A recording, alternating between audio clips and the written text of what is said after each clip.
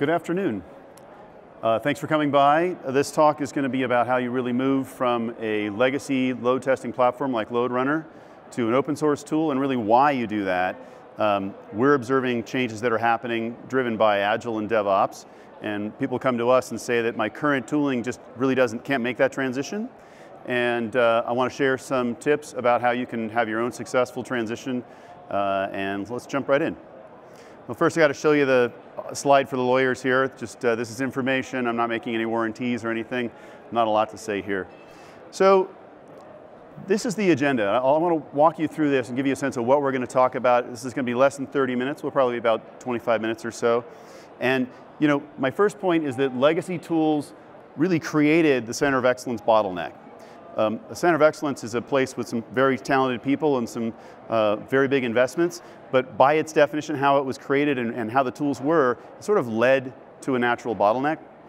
And then we look at, well, what's the deal with Agile and DevOps? Well, one of the key issues with Agile and DevOps is your goal is to eliminate handoffs and bottlenecks. So if you have a bottleneck and you're adopting a new methodology that's about not having bottlenecks, clearly you have a problem, right?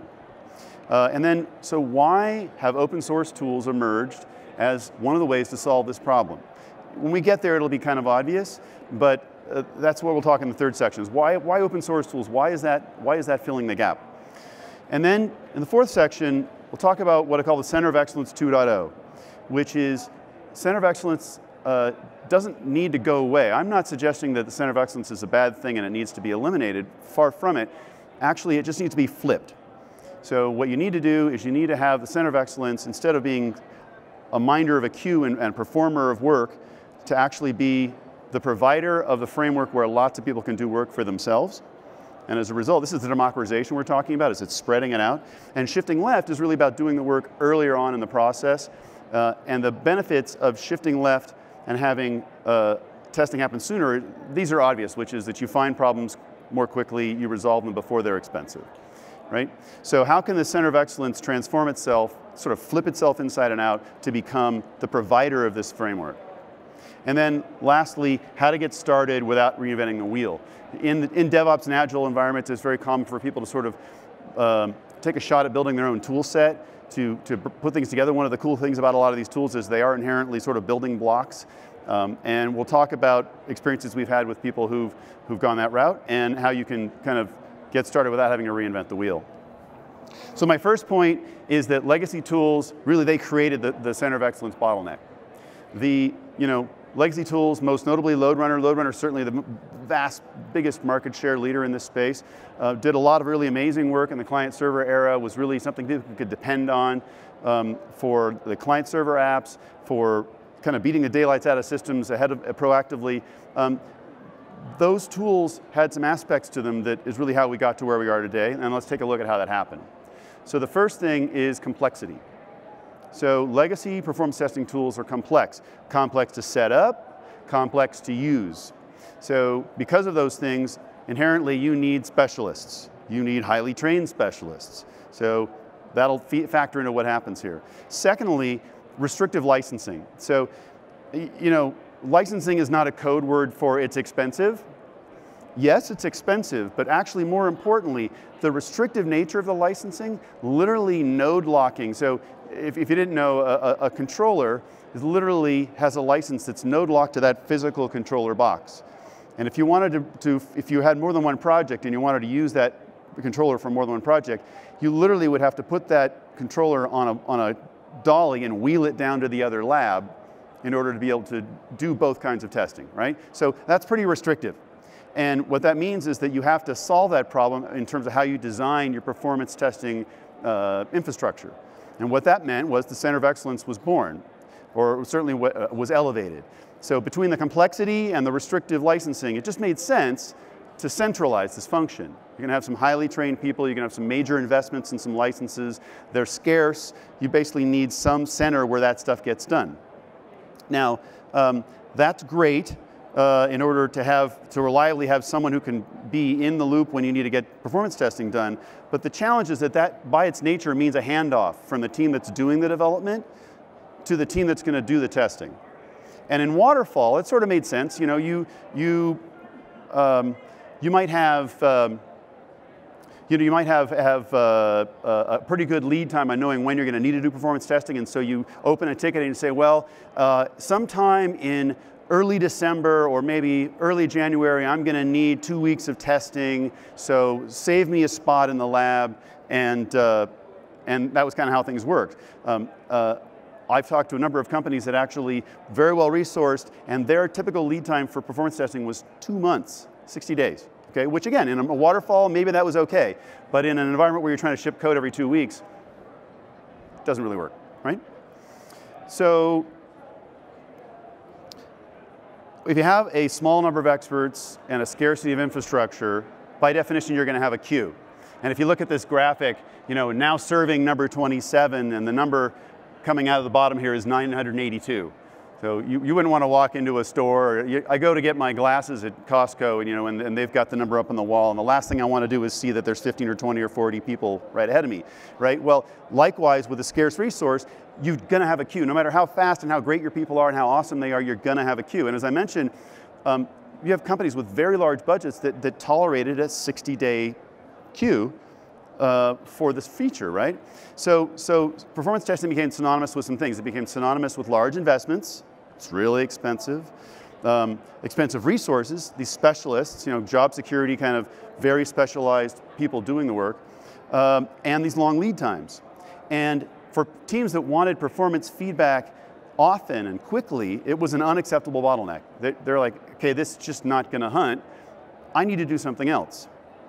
So before I talk about what they did, let's just take a second and revisit what is Agile, what is DevOps, what, what are the kind of some of the key concepts we can talk about. One of them is that Agile means you're, one, of the things you're trying to do is you eliminate these bottlenecks and handoffs, right? You don't want to have long wait times. If you look at software, if I have a module that calls out to an interface which has a super long latency, obviously the user experience is going to be bad, Right, if you go to a web page and you say, I want to check in for my flight, and that calls a mainframe, and there's a 30 second delay before the mainframe gets back, that's a, user, that's a user experience problem. You, you wouldn't like it. Well, likewise, in an agile team, you want people to be able to move quickly, and if they have to wait on external resources, it breaks the model, right? Let's talk about sort of the core principles underlying DevOps for a second. There was a book signing earlier today for, for this book, DevOps Handbook, which is you know, a great way, one of several ways to learn a lot more about this movement. You know, Gene Kim was here, Jez Humble, Patrick Debois, and John Willis have written an amazing sort of consolidation of a lot of information from the DevOps movement. But if you look about it, really there's three key concepts. Flow, which is that you want to be in a situation where stuff moves through quickly, doesn't spend very much time in one place right? And you do this with small batch sizes. So they have an example in there where you have got envelopes that you're, you're uh, stuffing, you're folding paper, putting an envelope and putting a stamp on it. And if you have 10 of these envelopes and you do, you batch it, you do all, you fold first and then you stuff and then you put stamps on, you, it takes a long time before the first letter pops out. But if you fold, insert, and stamp, three operations, the first one's already out in the world, right? And why do you want that out in the world fast? Well, because of the second point, feedback. So the key here is to actually be able to get feedback quickly, both from the end users, or if you're talking about sort of earlier in the development cycle, feedback about finding errors or, or defects. And then there's this notion of swarming them. So you, your goal is not to have a big backlog of bugs, but the moment you have anything wrong, boom, you squash it right? So you don't end up with six months of work and three months of backlog of chewing away at the bugs. The goal is to have a team that's always building small incremental changes and they're cranking stuff out and when you find a problem, you fix it quickly, right? And you also want to get that feedback from the customer quickly. So the, the last thing is continuous experimentation. You want an environment where it's safe to, to play with stuff, to mess with stuff, to change things and try it out and see what happens. And when you learn something, that, that small team, that agile team that's learning something uh, spreads that knowledge throughout the rest of the organization. So local discoveries shared globally. So how, how do you achieve flow in Agile? Well, there's really two, really, if you really simplify it, there's two things. One, multiple small teams working in parallel. If you're a big company, you don't have a giant organization working on one feature. You, have, you break it up into feature teams and they merge their work, right? But many small teams working in parallel, and again, these teams are designed to be self-contained to avoid the friction of handoff. So your goal is to have the ability to have all these teams working autonomously, doing what they need, and they're not waiting on stuff, right? Less friction means more flow. It's, you know, some of this stuff just sort of it's self-evident when you stop to, to just look at it, right?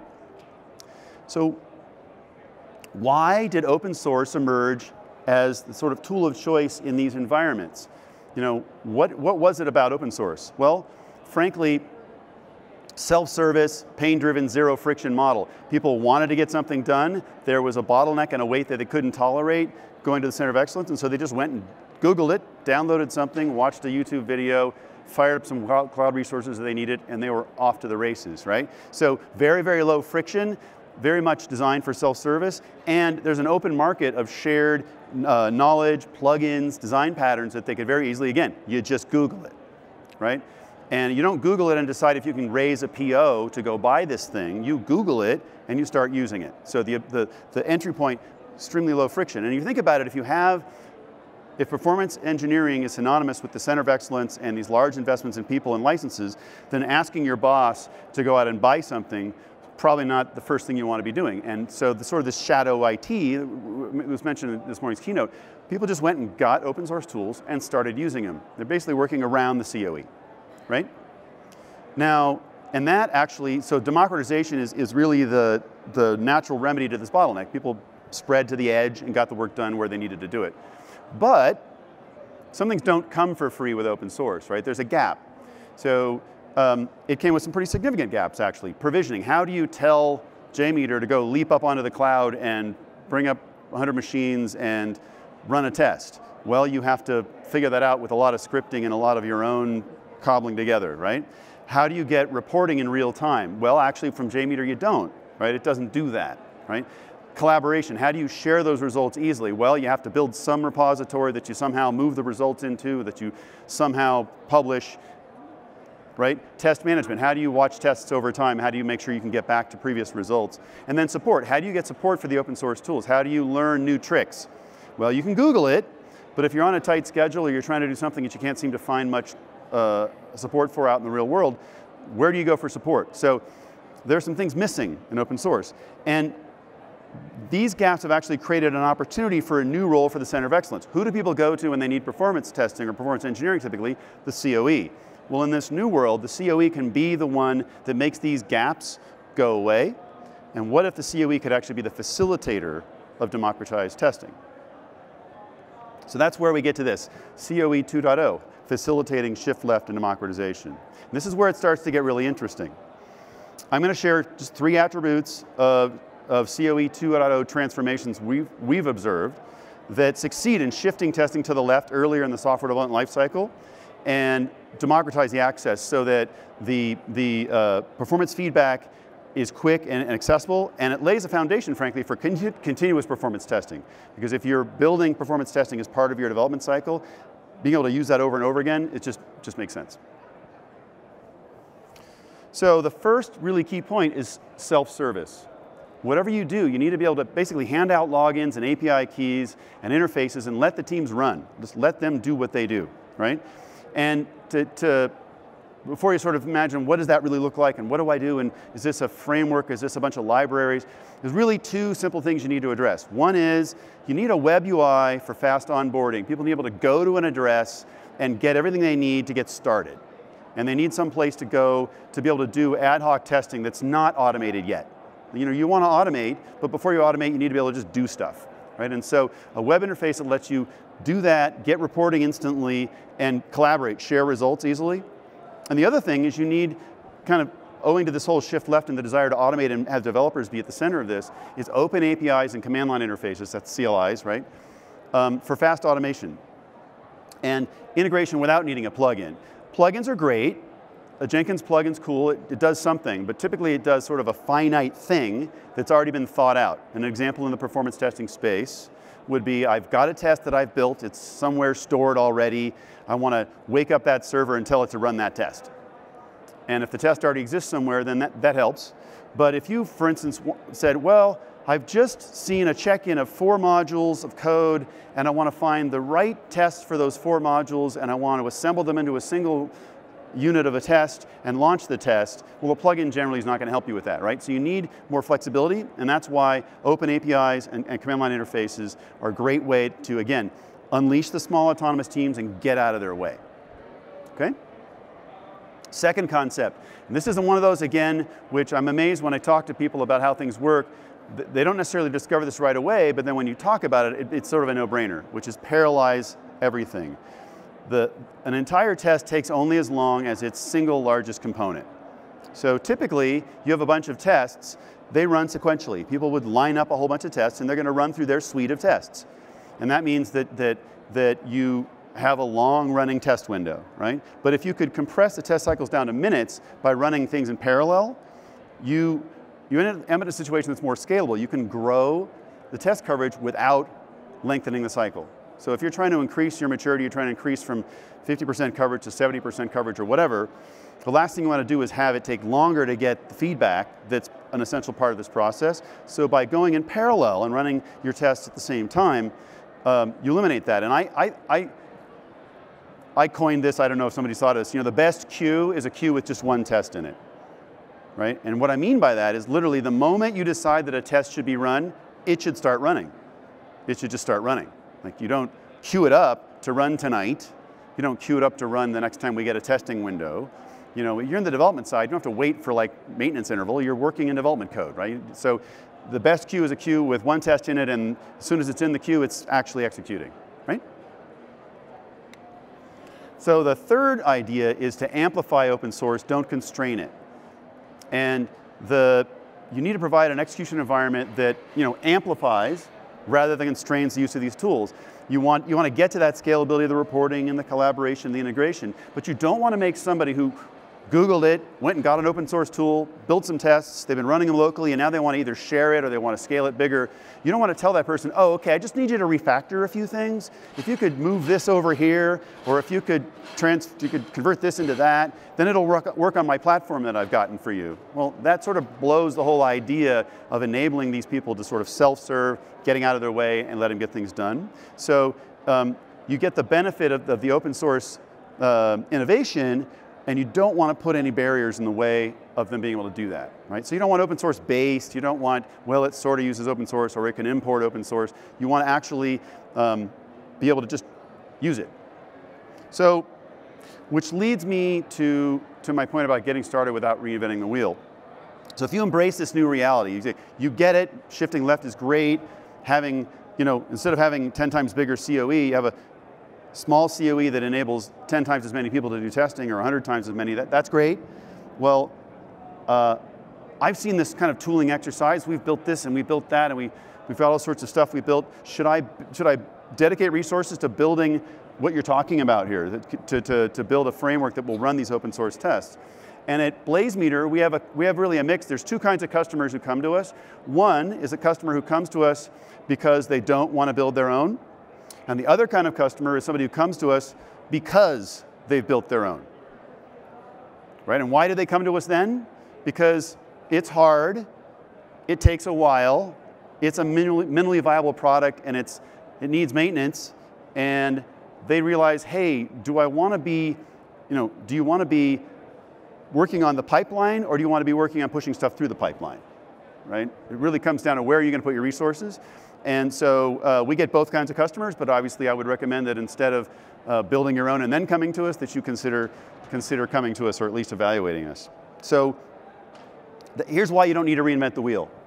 Um, we've already built a platform that facilitates self-service, lets you run tests in parallel, and amplifies open source tools. That's really one very simple way to talk about what Blazemeter is. Um, I don't usually read slides word for word, but I'll stop for a second here and, and do this one. You know, Blazemeter is a next generation SaaS and on-premise continuous application performance testing solution designed to help DevOps and Agile teams begin web, mobile, microservices, and API testing early in the software uh, delivery lifecycle, and then reuse these tests all the way through to production.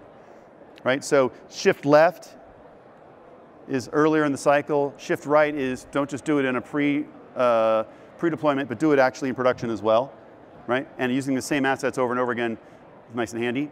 So let's break it down a little bit.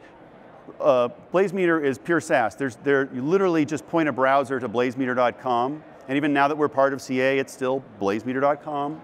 Point a browser there and get started. If you don't have an account, point a browser there, click the button that says get started. Well, that's interesting. Gentleman in the back, we, uh, we seem to have switched. We'll get that fixed. Hey, we're back. Okay. So, so um, you know, point a browser there, click on the Get Started button, give us your email address and basically nothing else, and jump in and use a free account to get started, and then figure out what you need commercially from us after you've gotten oriented, right? 100% um, open source compatibility. We call this load and go. So we take this really, really seriously, which is that if you've got a JMeter test, for instance, that works, and it's got a CSV file for data, and it's got some plugins that it's using, you should be able to literally just drag that onto the web interface, drop it, move a slider over that says, I need this much load, and click go, and it should just happen. Not, oh, your file is not compatible, or you have to reformat something. It's just literally load and go, right? And then we can deliver load from the public cloud, from virtual, private virtual clouds, and you know, why private virtual cloud, or virtual private cloud, excuse me. Uh, Amazon VPC being one example. It's actually the development lab of the future. So many people are doing their dev labs in a private cloud, it's like having a, a firewall, it has a firewall, and you might need a VPN to get in, but it's a secure separate place in the cloud where your dev lab runs. So what used to be behind the firewall is also now virtual private cloud, right? And then we, we support behind the firewall. And you know, we're a SaaS solution, so how do we do that? It's pretty straightforward. We have a Docker-based agent, which you can drop on any machine. It then phones home, making out, outbound connections only from your network finds out if there's work to do and runs tests, right? And so it's not a it's not a heavyweight thing, and it doesn't require piercing the firewall inbound. It literally phones home after you after you set it up, and periodically looks for work. So massively scalable. What's really cool is you can actually use the same tooling all the way from the developer's desktop, running locally right there on the developer's desktop, to a development lab, to an integration lab, and then all the way out to an external sort of outside-in infrastructure readiness test with millions of users, all with the same solution, right? The, the scalability is really limited by whatever your needs are. So, uh, uh, and why would you do, by the way, why would you do this outside-in really big testing? Uh, you don't have to be a, a retail site that's waiting for Black Friday, although they do this. But if your solution uses a content delivery network as part of what it does, or if your solution has an SSL accelerator in the infrastructure, or your solution has a, a firewall, obviously, and load balancers, that typically doesn't get tested in development, right?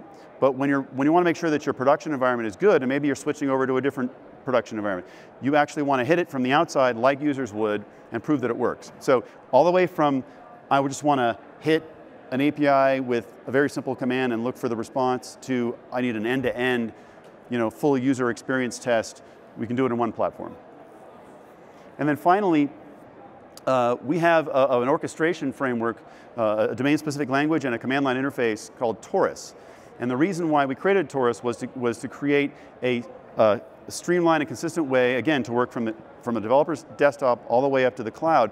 You can use Taurus to control open source tools and, and orchestrate your testing uh, and uh, it's actually freely available. It's an open source thing. The aspects of it that work with our commercial solution are obviously commercial. So that was a lot of detail, but I want to kind of step back and just look at a really simple graphic to explain who are we? What is BlazeMeter? What, why, why did CA, for instance, recently decide to acquire BlazeMeter as part of the continuous delivery uh, solution? And this is a graph of interest in the DevOps keyword over time on Google. So if you look, back here between 2010 and 2011, 2012, interest went from tiny to growing quickly. And then it sort of took off. And that red arrow is where we were founded. So BlazeMeter has only ever existed in the DevOps era. Like we were born with the DevOps movement, and we've always had a vision, a very clear vision of democratization, of speed and automation. Make it really easy. Like I sometimes explain this to people, you know, our solution is such that you could have a few too many beers, go home, fire up a browser, and run your first test within 15 minutes, not need six weeks of training to become an you know, apprentice in doing something, right? It's been designed to be really, really, really easy, but it's also been designed to be easily automated, easily spread. And other solutions will actually, you go to anybody's website that has a performance testing tool and you'll find mentions of Agile and DevOps and Shift Left. I guarantee you that will be there. But it's actually in our DNA, not just our latest marketing campaign. Right? So that's really kind of one way to look at it. This has been built from the ground up to do this and to be you know, lightweight when you need it to be lightweight, to be fully featured when you need it to be fully featured, and to be very easy to move along that continuum and give the tool to anybody with really very short notice, and you're up and running. So that's what I had to share with you today. Um, I, uh, I have a few minutes here where we could do questions. Uh, if anybody wants to ask a question, uh, if you wouldn't mind, come up to the mic, uh, and uh, we can kind of go from there. Any brave souls?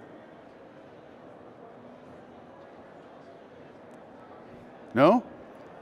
Okay, well, thank you for your time. I hope that's helpful. In the back of the room here, we actually have uh, some pods where we're demoing Blazemeter. You're welcome to come by and get a free account there, get a demo, whatever. Um, the, there's also other related booths right next to you, just over your shoulder here. Um, and then if you want, there's a mural on the wall there you can color in where it already has Blazemeter. Thanks for your time. I hope you enjoy the rest of the show.